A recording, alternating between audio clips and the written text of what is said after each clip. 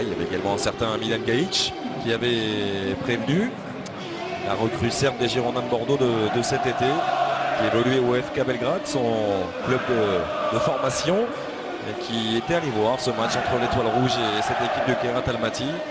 il a prévenu ses coéquipiers en disant que ça n'allait pas être facile, loin de là. Le centre de Poudjé, Yateline, il y avait également Diego Roland. La bonne relance d'Islam Khan.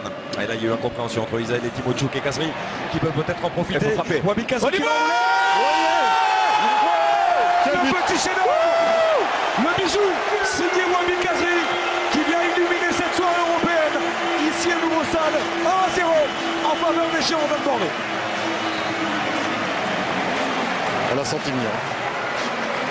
Quel but quel but C'était peut-être un coup de patte comme ça qu'allait débloquer la situation dans ce match compliqué pour les Bordelais qui étaient dans un temps faible. Et eh ben le, geste prépondérant de, Wabi Kazri, la spontanéité la qualité, le contrôle été bon, il s'est pas posé de questions. Et ce ballon qui a fini dans, la lucarne de, de Plotnikov, et eh ben voilà, ça va faire du bien à ces Bordelais.